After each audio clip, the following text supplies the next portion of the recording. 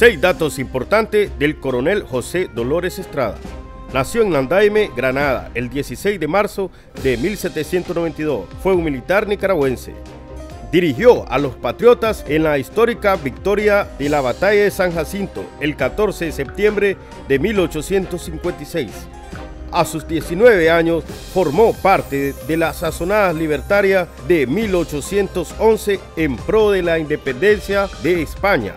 Se le concedió el grado de capitán de las milicias del Estado. Luego ascendió al rango de teniente coronel. Muere el 12 de agosto de 1869 a causa de una enfermedad hepática. Sus restos descansan en la Catedral Metropolitana de Managua. Se declara héroe nacional de Nicaragua el 17 de agosto de 1971.